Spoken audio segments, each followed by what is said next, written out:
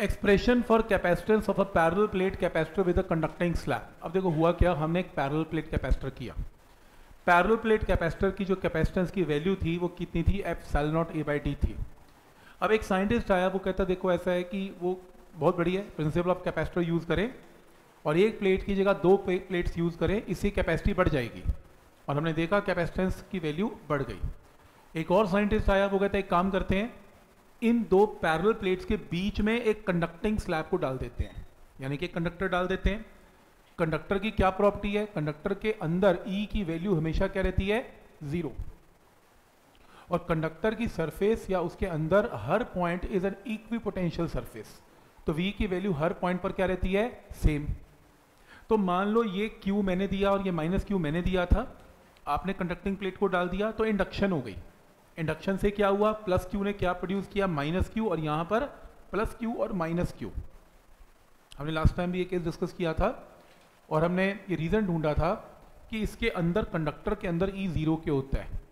तो मैंने आंसर भी दिया था कि बाहर इलेक्ट्रिक फ़ील्ड की वैल्यू अगर टेन है प्लस क्यू और माइनस क्यू की वजह से तो अंदर भी प्लस क्यू माइनस क्यू की वजह से उल्टी तरफ़ टेन है तो टेन और टेन आपस में कैंसिल होने की वजह से नेट ई e की वैल्यू कंडक्टर के अंदर क्या हो जाती है?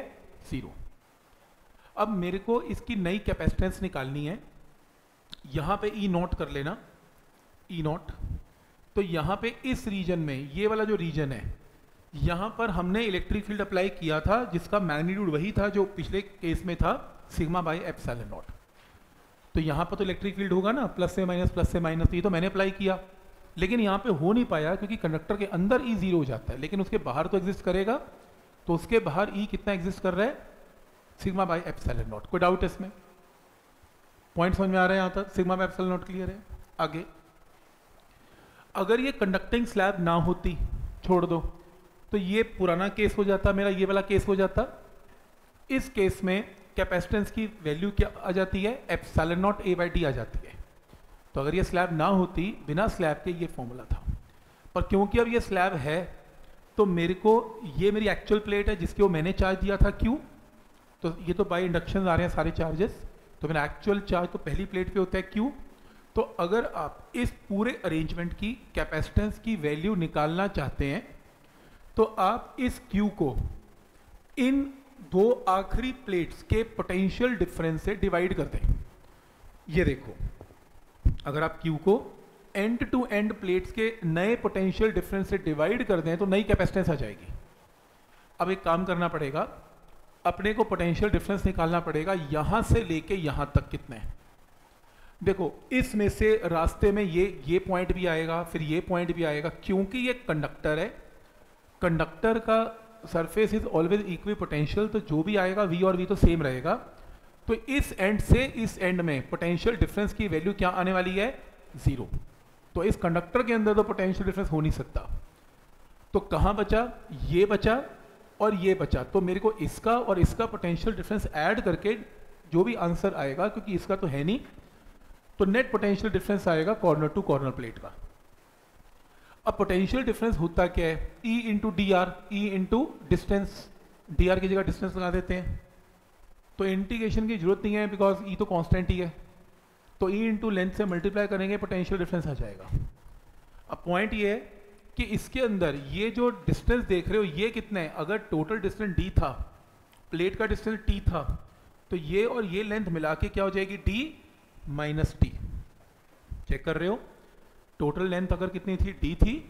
कंडक्टिंग स्लैब की लेंथ अगर टी थी तो बची हुई लेंथ कितनी होगी? डी माइनस टी इस डी माइनस टी में इलेक्ट्रिक फ़ील्ड कितना प्रेजेंट है? ई e नॉट तो पोटेंशियल डिफरेंस की वैल्यू क्या आएगी?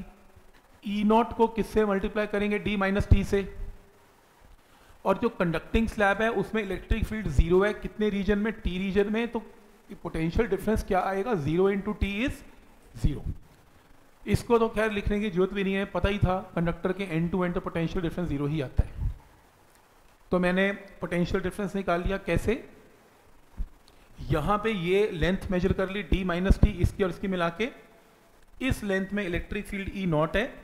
तो E naught into D minus T पर ई नॉट इलेक्ट्रिक फ़ील्ड की वैल्यू क्या होती है? सिग्मा बाई एफ़ नॉट सिग्मा क्या होता है? चार्ज बाई एरिया तो ये किसकी वैल्यू आ गई? पोटेंशियल डिफरेंस की. तो कैपेसिटेंस की वैल्यू क्या होगी? Charge divided by potential difference इस पोटेंशियल डिफरेंस को उठा के यहाँ पे पुट कर देंगे. चार्ज से चार्ज कैंसल तो आपके पास ये वैल्यू आ जाएगी. तो कैपेसिटेंस की वैल्यू आएगी epsilon naught A upon D minus T तो ये फॉर्मूला नोट कर लें. Capacitance of a parallel plate capacitor with a conducting slab formula booklet में capacitance of a parallel plate capacitor with a conducting slab का formula epsilon naught A upon D minus T तो C का formula epsilon naught A upon D minus T ये note कर लें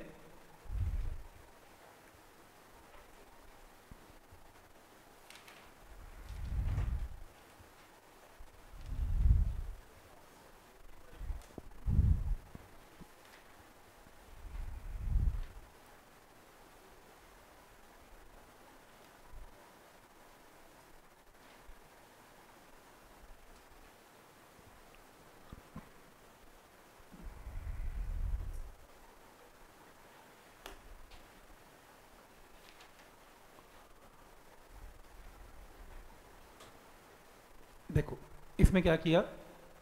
अगर ये slab ना होती तो ये कैपेसिटेंस थी।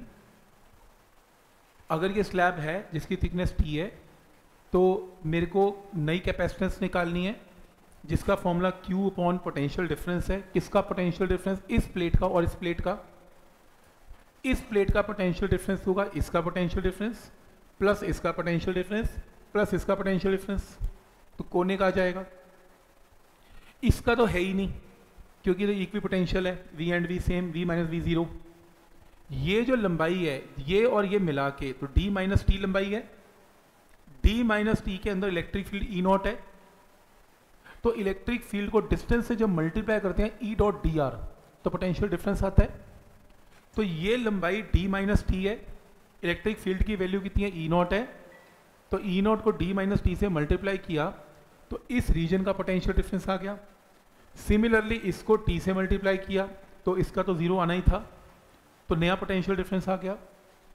E naught sigma by epsilon naught sigma charge by area ये पोटेंशियल डिफरेंस को यहाँ पुट कर दिया। ई नॉट है। हाँ मैंने करेक्शन करवाया था, इसको ई नॉट करने को बोला था। ये सारे ई नॉट ही चल रहे हैं। ठीक? नॉट इसलिए क्योंकि बाहर वैक्यूम है। इसलिए हर जगह नॉट लिखना चाहिए। मैंने गलत किया। ये ई की जगह ई नॉट लिख लेना चाहिए। ठीक है? तो इसके अंदर पोटेंशियल डिफरेंस को पुट करके आंसर आ गया। यहाँ तक क्लियर है? पुराना आंसर बिना स्लैब के ये था। नया आंसर में डिनोमिनेटर डी माइनस टी हो गया। डिनोमिनेटर कम होने से कैपेसिटी बढ़ गई तो ये आंसर आ गया। मैंने करके भी दिखाया। इस कैपेसिटेंस को इस कैपेसिटेंस से डिवाइड कर देंगे। तो चेक कर सकते हो, आपकी ratio D upon D minus T बचेगी which is greater than one तो C is greater than C naught prove हो गया। अब एक और आपके जैसा या मेरे जैसा साइंटिस्ट आया, थोड़ा टॉपिक पढ़ लिया होगा, उसने कहा, बहुत बढ़िया हो गया। मैं जितना छोटा डिनोमिनेटर करूँ, उतनी कैपेसिटी बढ़ेगी। हाँ बढ़ेगी मैंने कहा, सही है, बढ़ेगी। वो कहता, बहुत बढ़िया हम टी को बढ़ा देते हैं। देखो डी को तो बढ़ा नहीं सकते स्लैब की थिकनेस बढ़ा देते हैं। और चौड़ी कंडक्टिंग स्लैब डालेंगे। हाँ मैंने कहा, सही है, क्योंकि वो कह रहा है डी तो कांस्टेंट है। मैं जितना टी को बढ़ाऊँगा, ये तो कांस्टेंट है। डिनोमिनेटर उतना ही कम हो जाएगा। डिनोमिनेटर कम होगा, उतनी ज़्यादा कैपेसिटेंस हो जाएगी। तो बढ़िया मैंने कहा। वो कहता फिर एक काम करो। मैं एक काम करता हूँ, इसकी स्लैब जो है ना, इसकी स्लैब इतनी चौड़ी करूँगा कि इसी प्लेट्स को टच कर जाएगी बट जितनी मैक्सिमम उतनी मैंने फिट कर दी। यानी कि डी और टी उसने क्या कर दिए? बराबर कर दिए। क्योंकि कहा तो यही कहा था उसे, जितनी ज़्यादा उसकी विथ करेगा स्लैब की, उतनी कैपेसिटी बढ़ेगी। तो बढ़िया हो गया। तो डी और टी बराबर कर दिए। डिनोमिनेटर क्या हो गया? ज़ीरो कैपेसिटेंस क्या हो गई? इनफाइनाइट यानी कि एक ऐसा कैपेसिटर बन गया।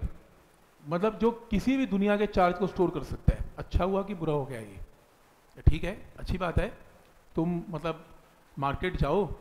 दुकानदार को कहो, एक बाल्टी चाहिए। तुम कहोगे कि वो पूछेगा, कितने लीटर की? तुम कहोगे, पाँच लीटर की। वो कहेगा, ढाई सौ रुपये की है। लेकिन दुकानदार ये भी कहेगा, मैं भी कैसी बाल्टी दे सकता हूँ जिसमें जादू है। वो क्या? और वो भी सिर्फ़ दो सौ रुपये की। आप दुनिया भर का पानी स्टोर करवा सकते हैं उसमें। अब वो के कमाल है, फिर वही देते हैं। वो क्या करेगा? उस बाल्टी के अंदर छेद कर देगा और उसको ज़मीन पर रख देगा। आपको भरते रहो पानी बैठ के। क्या होगा? पानी अर्थ में, सारा पानी अर्थ में जाता जाएगा। दुनिया भर का समुद्र का पानी में डाल दोगे तो भी अर्थ में जाएगा।